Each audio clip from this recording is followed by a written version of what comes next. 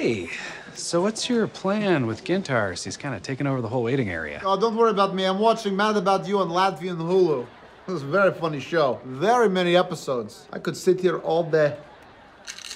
I don't know what to do. He's never gonna leave, but I'm scared for Nikolaj to get to know him. Okay, how about this? Gintars just wants to see him, right? We could maybe have them meet without telling Nikolaj that Gintars is his birth father. Just say he's an old friend of ours. Jake, you're completely forgetting about the olfactory bond. Nikolaj will immediately recognize his father's scent. Well, you gotta do something, and I don't think you're gonna wait this guy out.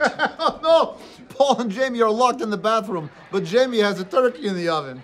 This is a very good setup. And they pay it off. yeah, so good. Okay, Jake, let's give your plan a shot. Okay, Gintars, remember the deal is you cannot tell Nikolaj you're his father.